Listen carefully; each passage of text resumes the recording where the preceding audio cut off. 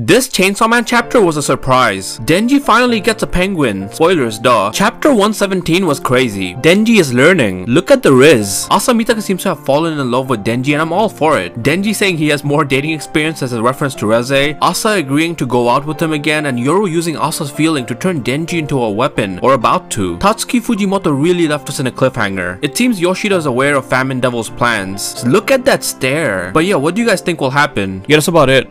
Peace.